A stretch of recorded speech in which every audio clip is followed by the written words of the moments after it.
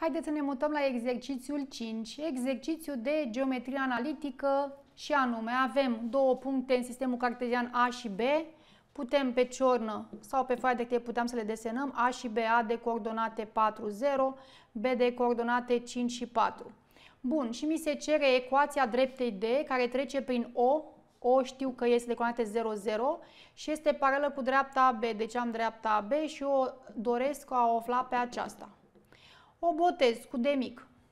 Evident, voi folosi faptul că două drepte paralele au aceeași pantă și apoi scriu ecuația unei drepte care are pantă știută și trece printr-un anumit punct.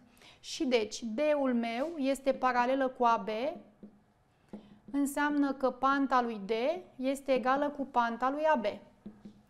Pe de altă parte, panta lui AB, panta unei drepte când cunosc două puncte, de pe dreapta respectivă sunt y, y scăzut și YA minus YB supra XA minus XB.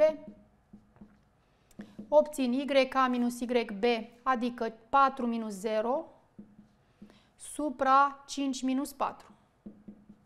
Și obțin ca fiind 4. Din acestea două, rezultă că panta dreptei mele pe care o caut este egală cu 4.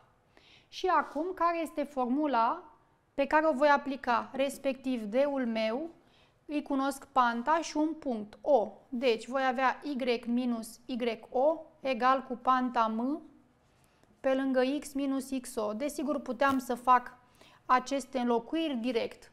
Deci D-ul meu devine Y minus 0 egal cu 4 pe lângă X minus 0. Deci Y egal cu 4X am lăsat ecuația în formă explicită. Aceasta este ecuația căutată.